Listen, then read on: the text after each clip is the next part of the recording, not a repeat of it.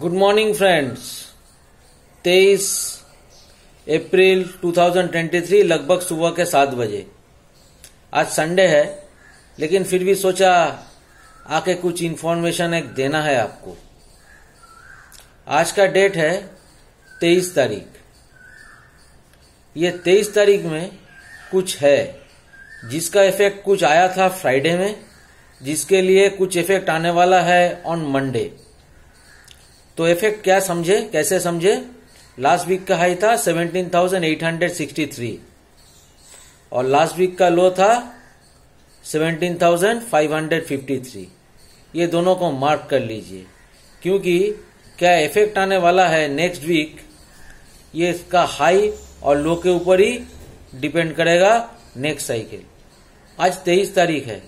Market कुछ और tactics कुछ और नया साइकिल पे शायद जाने का कोशिश करेगा नेक्स्ट वीक लेकिन हम लोगों को कैसे पता चलेगा?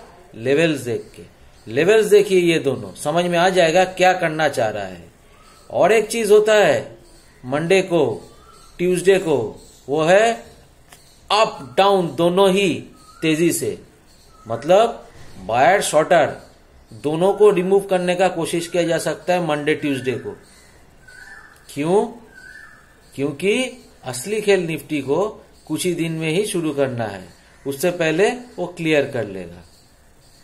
Okay friends so this is the important of this day twenty third Sunday market तो बंद है, लेकिन इसका इफ़ेक्ट कुछ फ्राइडे को आ गया है और कुछ मंडे को आने वाला है। हम्म। तो फ्रेंड्स देखते हैं क्या होता है। रिटेलर्स तो काफ़ी एक्साइटेड है रिलायंस का और आईसीआईसीआई का रिज़ल्ट देख के। लेकिन हम लोग तो एक्साइटेड होते हैं या डिप्रेस्ड होते हैं, कुछ भी हो जाए लेवल देख। क्या होने वाला है नेक्स्ट वीक लेवल से ही पता चलेगा।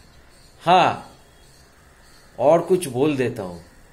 सत्रह हज़ार छह सौ नीचे अगर वायलेट किया फिर से seventeen thousand five five three तो है ही, लेकिन उसके नीचे दो और पॉइंट खुल सकता है।